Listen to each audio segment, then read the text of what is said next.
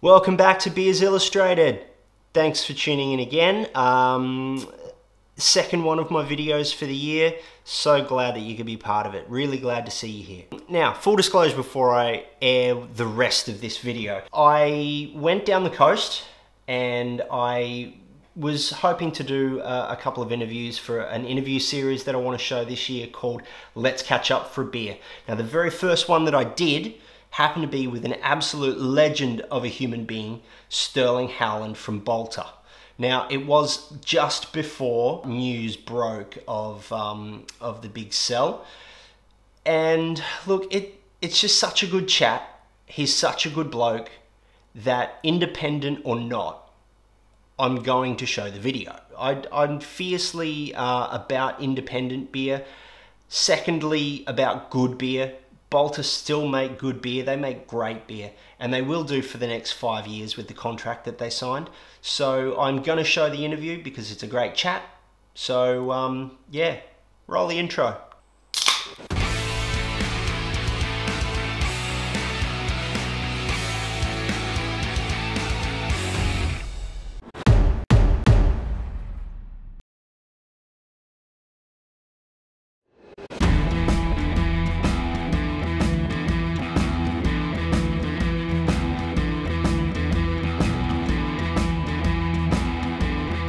So welcome back to my next video series. It's called Let's Catch Up for a Beer. And uh, I am lucky enough today to be sitting next to the one and only Handsome Elvis. Oh, there you go. Stirling Howland. Thank you very much, mate. So we're here at Balter HQ. Um, everything's going on outside. Um, the place is absolutely buzzing because you guys just, you keep reaching new heights all the time. Um, so the, the branding of, of Balter itself is, is quite a minimalistic sort of thing. It's, um, it's very simple, but that's what made it stand out so much. So how much do you think the branding uh, and, and the image and the marketing has helped Balter excel?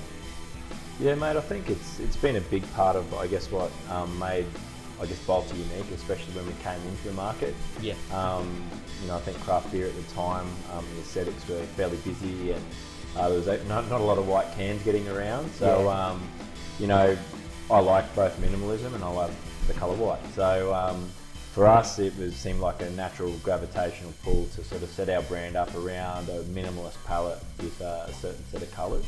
Yep. Um, in terms of its influence on the brand, I think it has created something quite iconic for us. Um, you know, we designed that um, to sit in the shelf basically, and create a thing that we call a whiteout. So when you see all the cans yeah. lined up together, um, they create this white band in the shelf. Yeah. And in a busy environment, um, it would hopefully stick out. And you put the lights of the fridge on, and bang, it pops even more. Yeah, um, great. So people are looking at this wall of beers they don't have to do, but they can see their Balter there, and then they can pick their colour. And, yeah.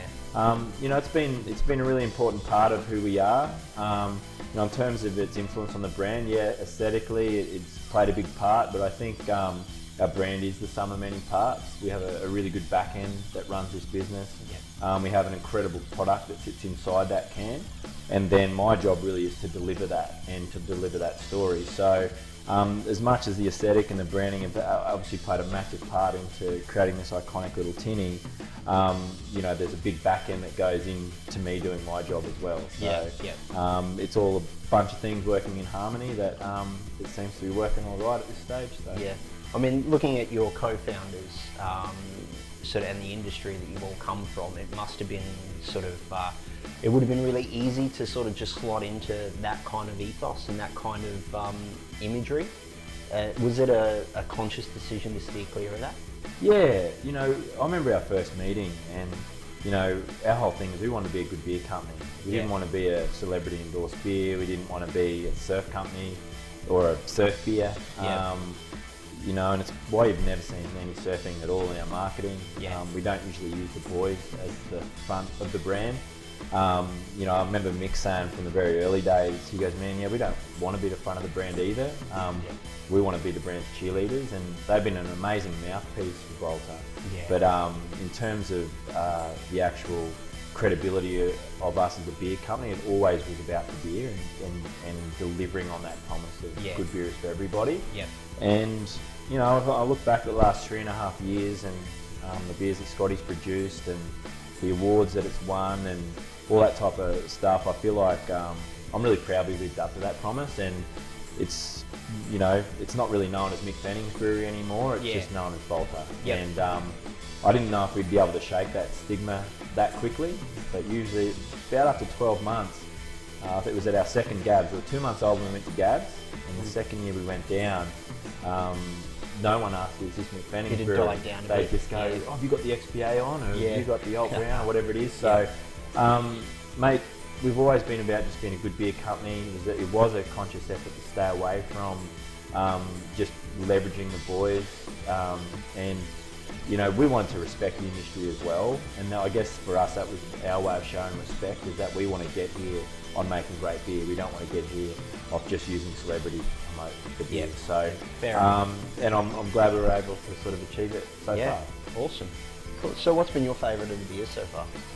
Man, um, I'm a drink to mood guy a little bit. like you know, Yeah, it's funny. me It just too. yeah, it just got hot uh, four weeks ago, um, and I just found myself craving Captain Sensible. Of Yeah. all the beers in our range, I just had this hankering, and I don't know, I just was pounding them. But I'll always go back to XPA. It's it's I don't know if it's the the first child thing or whatever it is, but um, I don't know. I do love this beer. I think this beer is, is probably a lot more complex than people give it credit for, and Yep. I think for a beer to to go to the elevation that it's gone to in terms of people's enjoyment factor and that Yeah. many people drinking it for such a sustained period of time um, is a real sign of the beer itself and the quality in which Scotty's made it. Yeah. And um, you know, I love American hops, and um, yeah, this is just a, a classic example. So. Cool. Yep. Um, so you, you you guys are bringing out a lot of limited release lately. Um, how's the ba- the brand evolved with all of those? Because you, your core range is fairly sort of you know to the letter. It, it- you've got the, the standard sort of can. You've had to um, sort of come up with new ways of bringing that colour in. And you've done that well. How has it evolved? How's the, the mindset been about sort of coming up with those Yeah. new iterations of the, the design? I think you know, obviously, when you start a business, there's a lot on the line, Yeah. and you want to make sure that you can pay the bills and turn the lights on and pay your staff and do all that. So it's really important that we've got our core range of beers down pat, you know, Yeah. and, and made beers that people want to drink regularly all the time as their go-tos, and that's allowed us to keep the lights on, and Yeah. it's allowed us to um, obviously it's created a lot of jobs, but also keep people in jobs. Yeah. Um, but we also knew that you just can't rest on that. You have to reinvent yourself. It's like Yeah. a relationship. You know, you you've got to invest time. You've got to, you know, uh, that surprise and delight that keeps normal human relationships alive. Um, we take the same approach to our beers, and so this limited release range of beers that we bring out is always just about ducking and weaving and showing people something different from Balter. Yep. Um, you know, it's uh, been an amazing addition to our program. You know, we started back in the day with black metal disco. Um, Yes. You know, I don't think a lot of people expect us to put a black beer out as our first limited. Um, you know, that was a, a big hit. A lot of people who didn't drink stout became stout drinkers at that point in Yeah, time. you know, yeah. and, and The from there, surprise is good always. yeah, yeah, that's right. And Yeah. um, and then the double IPA came out, and um, again, people didn't expect us to do a double IPA, and uh, we came out with that beer. And you know, that beer, when we first released it, we saw the power of, I guess, um, the trust that people had put in our brand by that stage. Yep. And so you have these people who hadn't really drunk any imperial style beers before, just quaffing um, double IPA, and not only quaffing it, enjoying it, and then Yeah. seeking it out again. And, Yep. um, so you know, How many releases has that had now? um, it's had three Yeah. releases, Yep. and um, and Always really successful. Um, you, you see it everywhere. You're looking on social media. You're seeing, you know, everyone taking photos of, of those cans. yeah, it, man, and that's it. And, and for us, that limited rela- release uh, release range is always about that reinvigoration. Um, it's about exploration for us in taking our community on a good beer journey. Yep. you know, and and um, you know, we've got our own community at Balter of, of beer drinkers, right? And you know, maybe before they came to us, and research was trying to show us that they're probably drinking maybe Carlton Draft or Corona with some lime in it or whatever, and Yeah. then they jumped over to this and they go, oh no, I, I like craft beer now, and then here we go. Oh, there's Yep. an IPA, there's a strong pale, there's a double IPA. Have you tried the hazies? Yeah. Do you like black beers? You know, and, and away we go. So Yep. it's just our way of reinvigorating our brand and, and our business. And um, I love seeing the reaction our, our limited releases Yeah, cause in the general public. and you have to keep the element of surprise going basically. Like you know so a lot of breweries or not a lot but a few breweries have fallen short by not being as experimental or, or sort of just sticking with the core range and then hoping that that's going to carry them through and they, they start to fall off a little bit um, they, they always usually find that they've got to sort of jump into bringing out something that's a little bit special or a little bit different try to keep Yeah. people guessing Yeah, I agree, man. And, and um, you know, there's far more experimental, experimental breweries than us um, as well. But I think for us, um, it's not about getting on that hamster wheel of new Yeah. and having to come up with something new every week to, to wow the crowd. Yeah. We want to make sure that we do the foundations really well. And then we just have this nice steady drumbeat of releases that we're super proud of. And um, I've found too that it's, it's, it's, it's worked for us. It Yeah. hasn't created this anxiety in the business of, you know, What's next? Yeah, and Yeah. Um, and it hasn't created a transient crowd as well. Yep. So our Baltic community are really loyal um, drinkers as well. Yeah. Um, whereas I think for us, if, if we were to go down that path of just doing something new and we didn't have all this other foundational beer to back it up, people just move on from you like that. You know? Yeah, So, um, yeah, it's been a, it's been an amazing thing, just the balance of our core range and the limiteds, and next year is going to be no different. Um, you'll see a bunch of dumb videos that Yeah. I make, put on the internet, and um, and yeah, you know, and hopefully Yeah. some beers people really love to drink. Yep, the videos are always cool. Um, they must be heaps of fun to make. Uh, what, what's been your favourite of those videos to make? I, I think I know the answer there. Yeah, mate, uh, it's funny. I, I think they're just self-indulgent these videos. Yeah. I just I find things that I find funny, and Yeah. I write things down. I had this chat with Dan Norris recently, and I'll just write things down. Like um, I think people who do bunny hops on scooters, is, is- I think that's funny. Yeah. And so I was like, bunny hop on scooter, put in an ad, you know. um, And it worked. Yeah, yeah. it just worked. and it was a really good bunny hop, and Yeah. um, but then You got to get the right guy for that. yeah, yeah. Man, I, I like the lager ads, I guess. For me, um, you know, I, I dig all of them. Like up until the lager ads, it was only Balter staff that were in those ads. Uh-huh, and yep. um, for the lager ads, we've got a couple of uh, comedian mates of mine to, Yeah. to star in them. And um, I think people just, I hope they realise that we're taking the piss out of ourselves as much as everything else. And Yep. uh, we really do play on everything absurd. Yeah, And, I'm available if you ever need. me. yeah, great. Okay, well, hey, it's good to know. Yeah, it's good to know.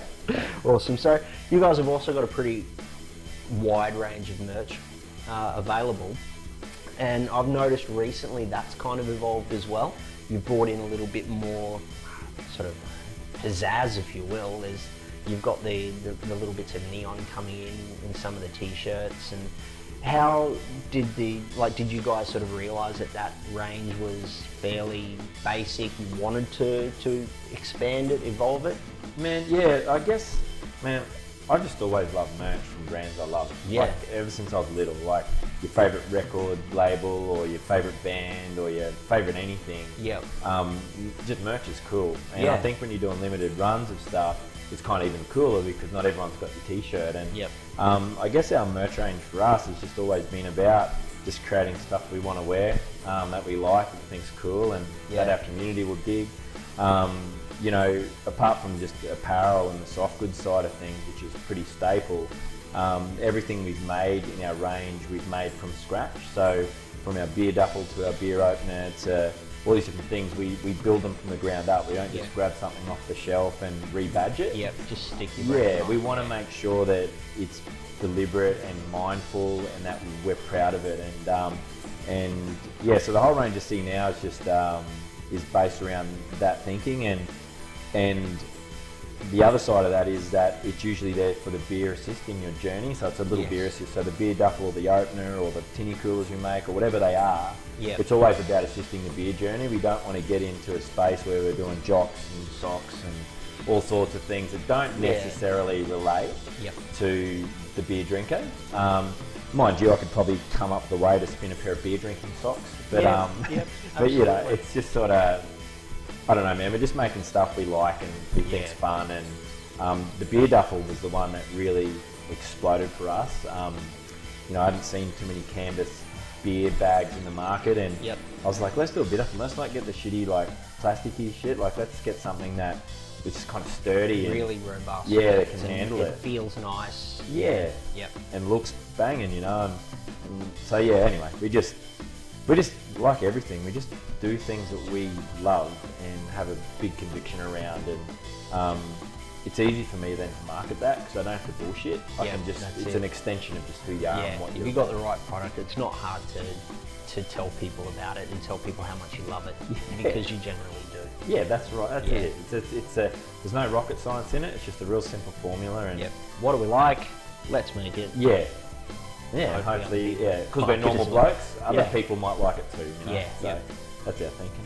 Awesome, mate. Well, um, that brings to an end um, my first uh, video in this new series. Um, thank you very much, mate. Thanks, Craig. And uh, look, us. if you're down on the Gold Coast, make sure you pop into the tap room here at Balter in Currumbin. Uh, it's an amazing little space. Uh, Saturday or Sunday afternoon, it goes off. Uh, make sure that you yeah, head along, uh, head over to my Instagram, Facebook, and the YouTube. So wherever you're watching this from, go over to the other ones and, and give them likes and, and clicks and all those sorts of stuff that comes along with social media because that all helps me out. And um, yeah, make sure you buy Balter beers because they're really awesome. So cheers. Cheers. Thanks a lot. Beers Illustrated for life. Ha ha!